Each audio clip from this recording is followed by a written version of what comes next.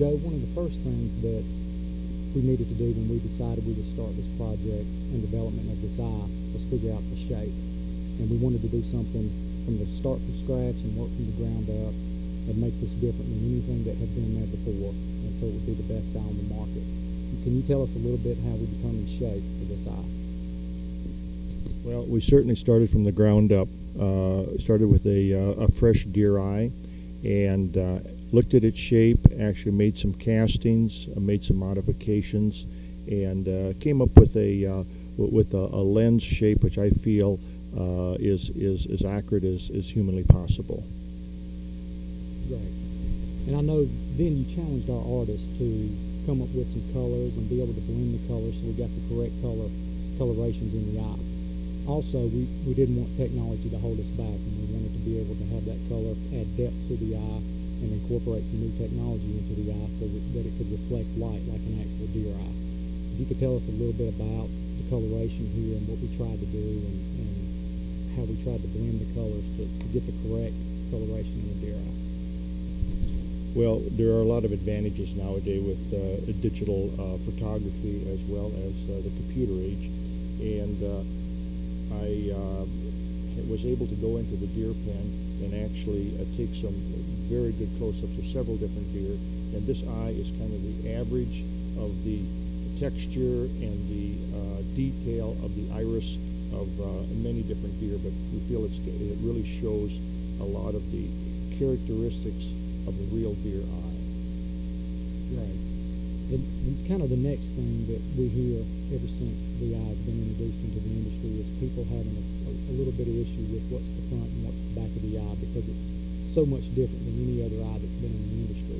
Um, maybe you can walk us through what the correct way to set the eye is, but before that, what is the actual front of the eye versus the back? So let me hand that to you, Chad, for a second. Kind of go back to the start here and show uh, the actual deer eye. This is a fresh specimen, and as you can see, the back is more pointed. If you think of it as an egg, the pointed end of the egg is the back of the eye, and uh, the, the rounded end uh, that's not quite as pointed, that is the front. And I know there's a lot of uh, uh problems in, in, in, deciding which is front and which is back. When you actually look at the, at the eye itself, uh, there are a couple of things that you can look at.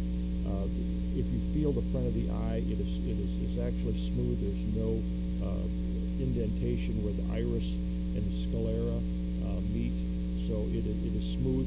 Also, uh, in, in, just looking at the shape, the pointed end there again is the back of the eye. And the, the third thing uh, is that there's more white in the back than the front. So the front has less white.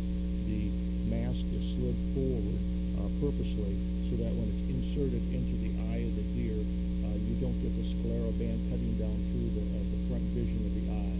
So it looks like a live deer. All right, and, and one of the newest things we did, if you, when you look into the iris of his eye, you see some lines and some some ridges like in, in the eye, and that was put in to give this thing a 3D effect and add some depth and contrast in the color. Um, when you look at a real deer eye, Joe, I know you see some of the way the light, light hits the eye and bounces back out. And um, that was one of the goals we, we were trying to accomplish by putting these lines in the eye. Absolutely. Uh, it really uh, catches light and diffracts and, and just uh, with a given uh, head on the wall, uh, you can see a lot of depth in the eye. And that's, that's something I'm most excited about is that uh, not only is the pupil placed towards the surface so you don't get that those lines that are put into the back of the eye are actually catching the light, and, and they're put in there very specifically because they are the detail that we saw in the live deer. Right. Um, why don't we set one in the, in the uh, mannequin here and show kind of what your technique is for, for setting an eye? Oh, I'd love to. First, we're going to take some critter clay and put it in the, the back of the eye uh, with just a slight, slight bit of excess so I can put the eye into the socket and wiggle the eye back and forth until I, I can feel that it's set all the way down, and it's very important, all the way down, touching the form. About the only way you can set the eye wrong is to get too much clay behind it and get it uh, so it doesn't seat all the way onto the form itself. You take a, a light, and another thing, I prefer the lighter version. This eye comes in a dark version and a lighter version. I like the lighter version because it shows the iris uh, definition, the detail, and it also is a little bit easier to set because you can see the pupil uh, quite easily. Now what I'm going to do is I'm looking at the pupil and I want the front of the pupil ever so slightly elevated. In other words, so there's just a slight angle. It's, it's, it's almost dead flat, but if anything, the front corner is just a hair high. Okay? Secondly, uh, we're going to model the eye in, and I always profess to use good references. So this is the particular deer that I intend to model.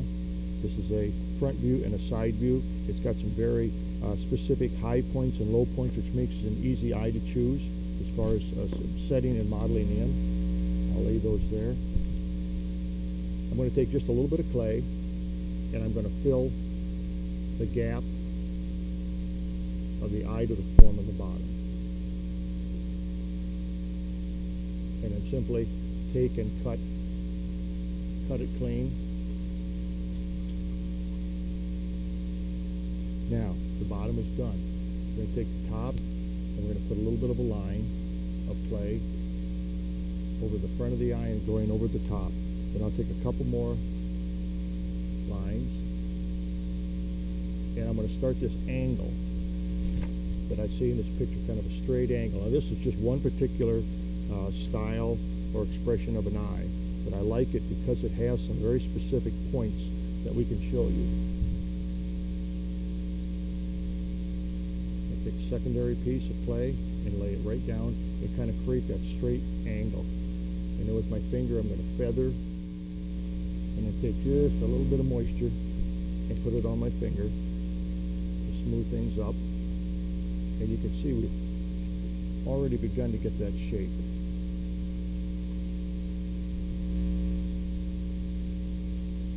Take a brush, I like to use a brush, a soft brush, just slightly moistened so that I can smooth the clay up and do a, quite a bit of the shaping of the clay with a brush.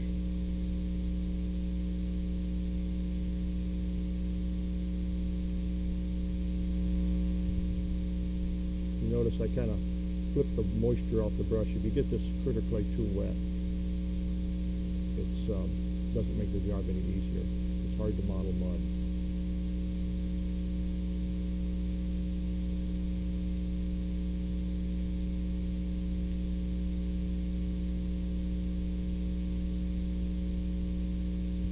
Okay. Now we're going to go ahead and put a, a crease above the eye where the eyelid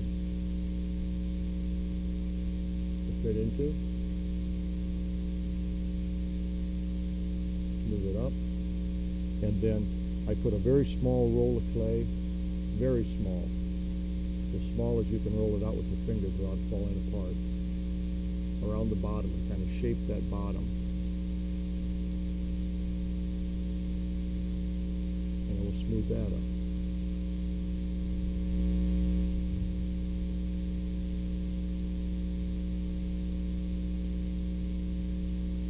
And then all we have left to do is clean the eye off. Then we're going to have a nice, alert,